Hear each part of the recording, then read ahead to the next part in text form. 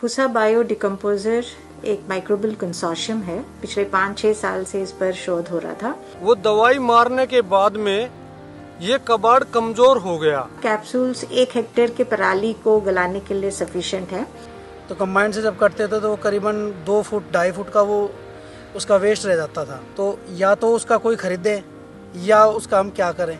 हमारे पास कोई विकल्प नहीं था पराली को बहुत अच्छी तरह से डिकम्पोज करता है ये जो गवर्नमेंट ना भी इसको देगी तो मोल इसको किसान लेके लगाएगा ਸਤਿ ਸ਼੍ਰੀ ਅਕਾਲ ਦੋਸਤੋ ਮੈਂ ਪਲਵਿੰਦਰ ਸਿੰਘ ਤੇ ਤੁਸੀਂ ਦੇਖ ਰਹੇ ਹੋ ਨਿਰਪੱਖ ਪੋਸਟ ਤੇ ਅੱਜ ਆਪਾਂ ਇੱਕ ਵੱਡੀ ਗੱਲ ਕਰ ਰਹੇ ਹਾਂ ਜਿਹੜੀ ਅ, ਦਿੱਲੀ ਦੇ ਸੀਐਮ ਅਰਵਿੰਦ ਕੇਜਰੀਵਾਲ ਦਾ ਇੱਕ ਕੱਲ ਪ੍ਰੈਸ ਕਾਨਫਰੰਸ ਕੀਤੀ ਗਈ ਉਹਨਾਂ ਵੱਲੋਂ ਔਰ ਅ, ਜਿਹੜੀ ਪੰਜਾਬ ਔਰ ਹਰਿਆਣੇ ਦੀ ਖਾਸ ਕਰਕੇ ਜਿਹੜੀ ਵੱਡੀ ਸਮੱਸਿਆ ਪਰਾਲੀ ਨੂੰ ਲੈ ਕੇ ਹਜੇ ਬੇਸ਼ੱਕ ਦੀ ਪਰਾਲੀ ਦਾ ਸੀਜ਼ਨ ਅ, ਸ਼ੁਰੂ ਨਹੀਂ ਹੋਇਆ ਔਰ ਉਸ ਤੋਂ ਪਹਿਲਾਂ ਹੀ ਜਿਵੇਂ ਝੋਨਾ ਪੱਕਣ ਦੀ ਬਿਲਕੁਲ ਤਦਾਦ ਤੇ ਹੈ ਥੋੜੇ ਦਿਨਾਂ 'ਚ ਕੰਬਾਈਨਾਂ ਲੱਗ ਜਾਣਗੀਆਂ ਔਰ ਕੱਟਣਾ ਸ਼ੁਰੂ ਹੋ ਜਾਏਗਾ। ਉਸ ਤੋਂ ਬਾਅਦ ਜਿਹੜਾ ਉਸ ਦਾ ਨਾੜ ਹੈ ਉਸ ਨੂੰ ਲੈ ਕੇ ਕਾਫੀ ਚਿੰਤਾ ਕਿਸਾਨਾਂ 'ਚ ਵੀ ਬਣੀ ਰਹਿੰਦੀ ਹੈ ਔਰ ਪ੍ਰਸ਼ਾਸਨ 'ਚ ਵੀ ਬਣੀ ਰਹਿੰਦੀ ਹੈ। ਪਿੱਛੇ ਤਾਂ ਕਈ ਕਿਸਾਨਾਂ ਦੇ ਪਰਚੇ ਵੀ ਦਰਜ ਹੋਏ ਅ, ਜਿਨ੍ਹਾਂ ਨੇ ਅੱਗਾਂ ਲਾਈਆਂ ਕਿਉਂਕਿ ਗਵਰਨਮੈਂਟ ਵੱਲੋਂ ਅੱਗ ਲਾਉਣ ਤੇ ਮਨਾਹੀ ਹੈ, ਪਰ ਕਿਤੇ ਨਾ ਕਿਤੇ ਉਸ ਦਾ ਕੋਈ ਮੁਕੰਮਲ ਹੱਲ ਨਹੀਂ ਮਿਲਦਾ, ਜਿਸ ਕਰਕੇ ਕਿਸਾਨ ਮਜਬੂਰੀ ਦੇ ਵਿੱਚ ਉਹਨਾਂ ਨੂੰ ਅੱਗ ਲਾਉਣੀ ਪੈਂਦੀ ਹੈ ਨਾੜ ਨੂੰ, ਤੇ ਜਿਸ ਕਰਕੇ ਜਿਹੜਾ ਕਾਫੀ ਪੋਲਿਊਸ਼ਨ ਵੀ ਹੁੰਦਾ ਹੈ ਬ- ਕਾਫੀ ਬਿਮਾਰੀਆਂ ਲੱਗਦੀਆਂ,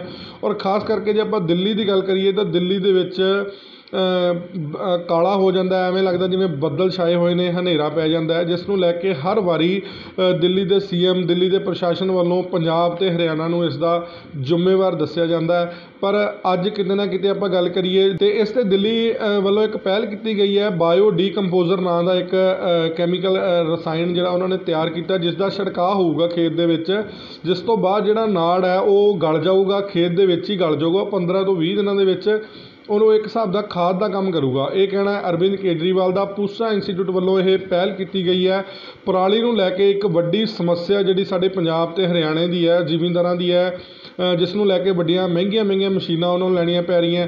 ਜੇ ਆਪਾਂ ਹੈਪੀ ਸੀਡਰ ਦੀ ਗੱਲ ਕਰੀਏ ਤਾਂ ਤਕਰੀਬਨ 2.5 3 4 ਲੱਖ ਦਾ ਪਹਿਲਾਂ ਉਹ ਹੁੰਦਾ ਉਸ ਤੋਂ ਬਾਅਦ ਉਹਨੂੰ ਟਰੈਕਟਰ ਵੀ ਵੱਡਾ ਚਾਹੀਦਾ ਚਲਾਉਣ ਵਾਸਤੇ। ਜਿਹੜੇ ਛੋਟੇ ਜ਼ਿਮੀਂਦਾਰ ਨੇ, ਉਹਨਾਂ ਲਈ ਬਹੁਤ ਜ਼ਿਆਦਾ ਜਿਹੜੀ ਪਰਾਲੀ ਹੈ ਉਹ ਮੁਸੀਬਤ ਦਾ ਕਾਰਨ ਬਣੀ ਹੋਈ ਹੈ ਮੁਸੀਬਤ ਬਣੀ ਹੋਈ ਹੈ। ਜੇ ਉਹ ਅੱਗ ਲਾਉਂਦੇ ਆ ਤਾਂ ਉਹਨਾਂ ਤੇ ਪ੍ਰਸ਼ਾਸਨ ਵੱਲੋਂ ਕਾਰਵਾਈ ਹੁੰਦੀ ਹੈ। ਜੇ ਨਹੀਂ ਲਾਉਂਦੇ ਤਾਂ ਉਸ ਦਾ ਕੋਈ ਮੁਕੰਮਲ ਹੱਲ ਨਹੀਂ ਹੈ। ਪਰ ਹੁਣ ਕਿਤੇ ਨਾ ਕਿਤੇ ਆਪਾਂ ਦਿੱਲੀ ਦੇ ਮੁੱਖ ਮੰਤਰੀ ਇਹ ਕਹਿੰਦੇ ਨਜ਼ਰ ਆ ਰਿਹਾ ਕਿ ਜਿਹੜਾ ਉਹ ਨਾੜ ਹੈ ਉਸ ਦਾ ਮੁਕੰਮਲ ਹੱਲ ਜਿਹੜਾ ਕੀਤਾ ਗਿਆ ਹੈ।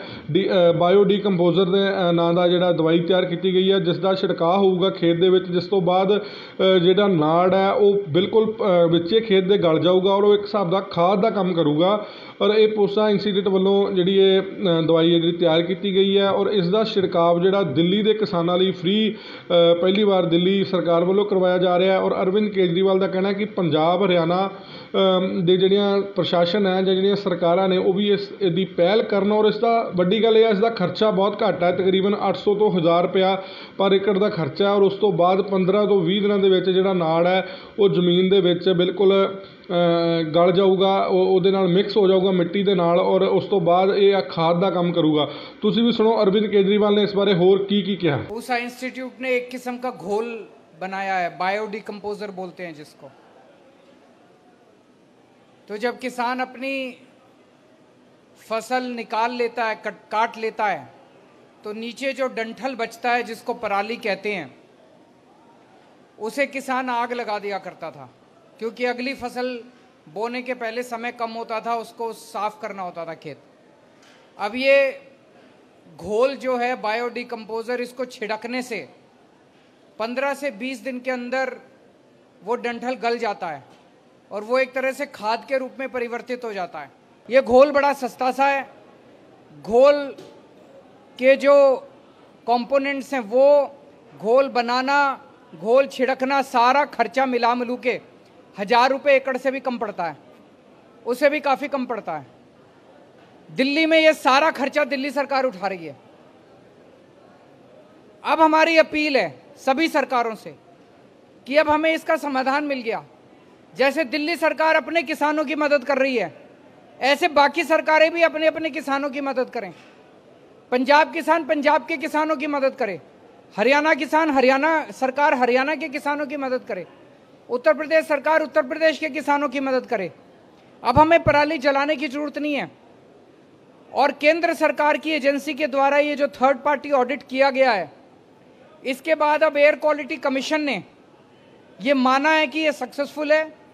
और मुझे पता चला कि पिछले दो चार दिन के अंदर एयर क्वालिटी कमीशन ने इस बाकी सभी सरकारों को आदेश दिए हैं कि वो भी पूसा इंस्टीट्यूट द्वारा बनाए जा रहे इस घोल को इस्तेमाल करें ताकि पराली जलाने की समस्या से निजात पाई जा सके ਤੇ ਨਾਲ ਹੀ ਜਿਹੜੀ ਪਰਾਲੀ ਦੀ ਸਮੱਸਿਆ ਕਿਤੇ ਨਾ ਕਿਤੇ ਹੱਲ ਹੁੰਦੀ ਨਜ਼ਰ ਆ ਰਹੀ ਹੈ ਜੋ ਕਿ ਕਾਫੀ ਲੰਬੇ ਸਮੇਂ ਤੋਂ ਸਾਡੇ ਕਿਸਾਨਾਂ ਦੇ ਅ, ਨੂੰ ਬਹੁਤ ਪਰੇਸ਼ਾਨ ਕਰ ਰਹੀ ਹੈ ਤੰਗ ਕਰ ਰਹੀ ਹੈ ਔਰ ਇਸ ਲਈ ਵੀ ਦਿੱਲੀ ਸਰਕਾਰ ਨੇ ਕੇਂਦਰ ਸਰਕਾਰ ਨੂੰ ਅ, ਵੀ ਪੱਤਰ ਲਿਖਿਆ ਜਿਸ ਵਿੱਚ ਉਹਨਾਂ ਨੇ ਕਿਹਾ ਕਿ ਜਿਹੜੀ ਇਹ ਅ, ਇਹ ਦਵਾਈ ਹੈ ਪੂਰੇ ਦੇਸ਼ ਦੇ ਵਿੱਚ ਇਸ ਦਾ ਜਿਹੜਾ ਮੁਕੰਮਲ ਤੌਰ ਤੇ ਜਿਹੜਾ ਯੂਜ਼ 'ਚ ਆਵੇ ਔਰ ਹਰ ਸਰਕਾਰਾਂ ਇਸ ਨੂੰ ਜ਼ਰੂਰੀ ਕਰ ਦੇਣ ਤਾਂ ਜੋ ਅ, ਸਰਕਾਰਾਂ ਹੀ ਕਰਵਾਉਣ ਜਿਹੜਾ ਉਸ 'ਤੇ ਖਰਚਾ ਆਉਂਦਾ ਉਹ ਵੀ ਕਿਤੇ ਨਾ ਕਿਤੇ ਪ੍ਰਸ਼ਾਸਨ ਆਪਣੇ ਸਿਰ ਤੇ ਲੈ ਕੇ ਔਰ ਆਪਣੇ ਵੱਲੋਂ ਕਰਵਾਵੇ ਕਿਉਂਕਿ ਦਿੱਲੀ ਗਵਰਨਮੈਂਟ ਆਲਰੇਡੀ ਕਰਵਾ ਰਹੀ ਹੈ ਆਹ ਪੂਸਾ ਬਾਇਓਡੀ ਕੰਪੋਜ਼ਰ ਹੈ ਇਹ ਕਿਸ ਤਰ੍ਹਾਂ ਦੇ ਨਾਲ ਕਿਸਾਨਾਂ ਦੇ ਲਈ ਵਰਦਾਨ ਸਾਬਤ ਹੋਏਗਾ ਤੁਸੀਂ ਵੀ ਸੁਣੋ ਇਹਨਾਂ ਕਿਸਾਨਾਂ ਤੋਂ ਜਿਨ੍ਹਾਂ ਨੇ ਇਹਨਾਂ ਦਾ ਯੂਜ਼ ਕੀਤਾ ਹੈ तो कंबाइन से जब करते थे तो वो करीबन दो फुट ढाई फुट का वो उसका वेस्ट रह जाता था क्योंकि कंबाइन ऊपर ऊपर से काटती है।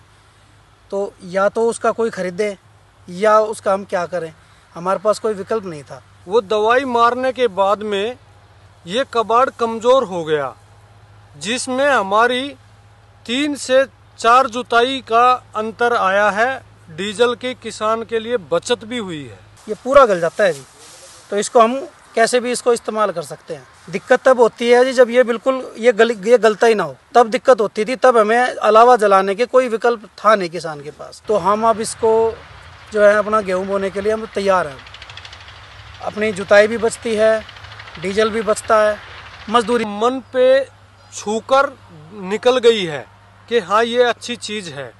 ये जो गवर्नमेंट ना भी इसको देगी तो मोल इसको किसान लेके लगाएगा। पर हाँ इतना है कि अगर जायज़ रेट में मिला तो हम तो इनको बाकी ਪੰਜਾਬ ਅਤੇ ਪੰਜਾਬੀਅਤ ਨਾਲ ਜੁੜਿਆ ਹਰ ਮੁੱਦਾ ਹਰ ਖਬਰ ਨਿਰਪੱਖ ਤਰੀਕੇ ਨਾਲ ਤੁਹਾਡੇ ਤੱਕ ਪਹੁੰਚਣ ਦੀ ਕੋਸ਼ਿਸ਼ ਵਿੱਚ ਤੁਸੀਂ ਵੀ ਦੇਵੋ ਸਾਡਾ ਸਾਥ ਤਾਂ ਹੁਣੇ ਲਾਈਕ ਕਰੋ ਸਾਡਾ ਫੇਸਬੁੱਕ ਪੇਜ ਸਬਸਕ੍ਰਾਈਬ ਕਰੋ YouTube ਤੇ ਅਤੇ ਫੋਲੋ ਕਰੋ ਇੰਸਟਾ ਅਤੇ ਟਵਿੱਟਰ ਤੇ ਨਿਰਪੱਖ ਪੋਸਟ ਖਬਰ ਦੀ ਨਿਰਪੱਖ ਆਵਾਜ਼ ਵਿਜ਼ਿਟ ਕਰੋ www.nirpakhpost.com